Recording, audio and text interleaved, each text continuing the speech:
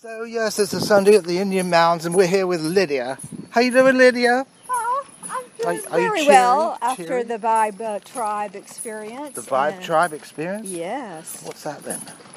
the, this Vibe Tribe that we have. Oh, it's a Vibe. Good Tribe? vibration tribe of people bringing their instruments and playing from their hearts and sending out healing to one another and to the community.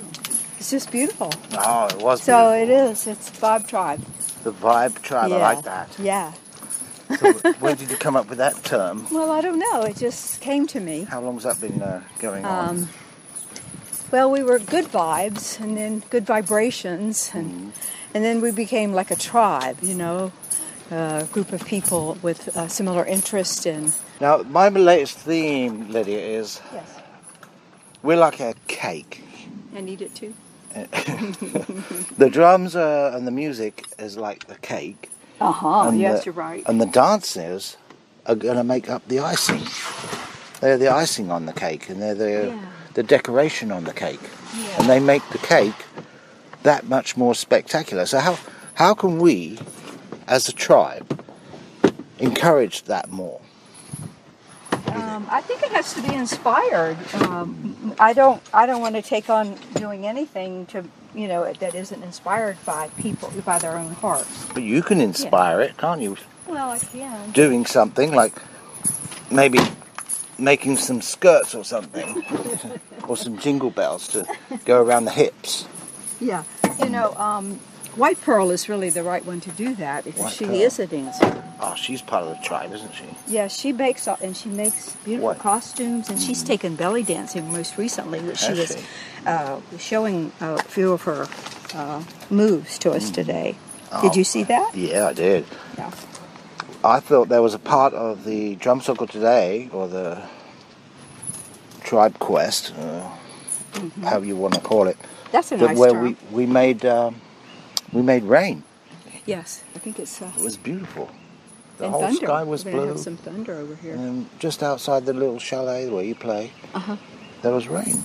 You saw that. I did just a, just a momentary. Wasn't that sprinkle, phenomenal? wasn't it? Yes. So, how long have you been doing this um, sound healing, Lydia? Twenty-three years. 23 years. And how did you get your start in this? Mm.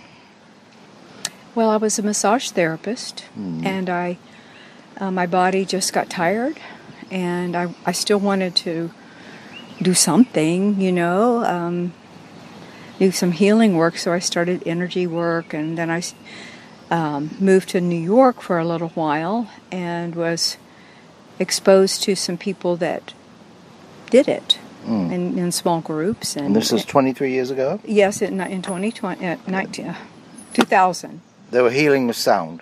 Yes, they were doing, when we were meeting at a, at a, uh particular healing center.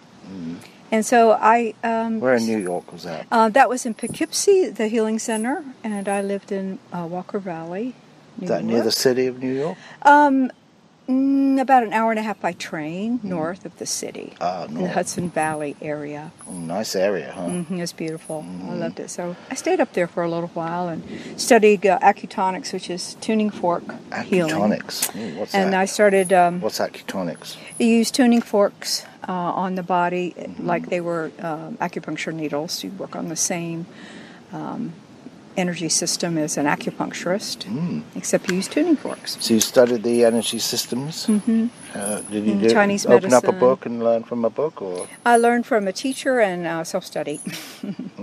what teacher? Which teacher? Um, they, it was uh, with the acutonics group. There were several that I took, and uh, Chinese teacher? Uh, no. no.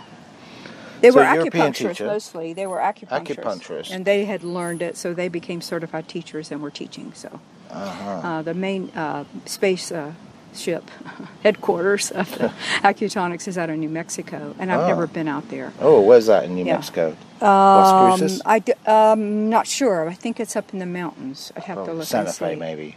Eh, close to there, Santa but it's Fe in the middle of nowhere, actually. Okay. Um, but anyway, the woman uh, that had written the book is called "No Place Like Om," Mm, no place like and, home. and so I learned um, acutonics from the book and uh, teaching teachers. I you took. bought yourself a set of tuning forks. I bought them all. I bought many. How many, many are there? Um, well, there's different sets. I have probably 50 tuning forks uh, at my house. Some for the, on the body, some for over the body in the field. Oh. Um, and I, you know, I practiced that for a while, and I still do it. But um, I'm doing, you know, this stuff, and then I'm also seeing individual people um, Uh-huh. come on my table, and I'm working now uh, with more biofield tuning. Biofield tuning. Is Now, there's a little- big event um, coming up in August Mm-hmm. at place uh, down south uh, at Ted's. You know that? You know about that? Are you going to Mm-hmm. Be there for that? Yes. And What's that called again? Um, I think it's called frequency. Something about frequency. Um, Ted's all about frequency, isn't he? yes, this is a. It's the uh, resonance something or other. I can't think of the whole title, but That's going to be interesting. eh? yeah, I'm going to be there. I'll be doing uh, teaching, um, a qi- doing qigong session on A qigong um, session. Saturday and Sunday morning. wow. Qigong and meditation, and Oh, then so you're going to pitch a tent there? No, I'm going to drive home because I'm only like 25 minutes away. Oh, okay. so, So, I'll just drive home Right. Saturday night, come back Sunday morning. Uh, yep. they've got a wonderful swimming area. It's beautiful. Have you been there before? yes. Yeah. Many, a couple of times e- easily. Lovely. And um, we we're going to look forward to that here in Tallahassee, eh? That's it's. We're yeah. starting to make some uh, inroads to the whole healing with sound. So I've got my Power Paralounge band on still. Yeah, What does that read? empowered by rhythm.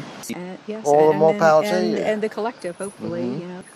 No. But anyway, No. Lydia, Okay. you're such a fascinating person, Thank and you. thanks for bringing all of your musical instruments You're out to this sacred place, the Indian Yeah. Mounds, This is here in beautiful. Mm-hmm. Tallahassee. Now, what do you wish for the the whole Tallahassee? What do you wish for all the people of Tallahassee? Um, that they live their heart's desire and be Full of happy. bliss. hmm Yeah, that's a good one too. Perfect. Many things, many, much happiness and um, manifesting their purpose for being It's a here. golden eagle, though. and seeking completion of that. I didn't get to say hello to you and see how you're. Well, doing. thanks, Lydia. She's taking a break now. she's she's going for some hugs. Thanks, Lydia. Thank you. You the Thank best. I'm sorry, I got to give this man a hug. Okay then. I haven't been able to catch your eye all day. hugs away, hugs away. Okay. I am doing wonderful, actually. okay. That was Lydia Riedell, ladies and gentlemen, speaking speaking the word. What, Take care. what we all need. Thank you, Lydia. Following your bliss. Take care.